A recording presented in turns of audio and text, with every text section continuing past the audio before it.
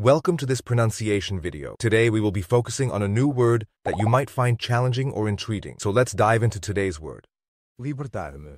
which means, Free myself from restriction, confinement, or control. let's say it all together. Libertar-me. Libertar-me.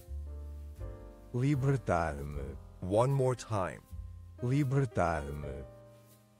Libertar-me. Libertar-me. Thank you for joining us on this adventure in pronunciation. Remember, language is a journey, not a destination. Keep exploring, experimenting, and expanding your linguistic horizons. We'll see you next time.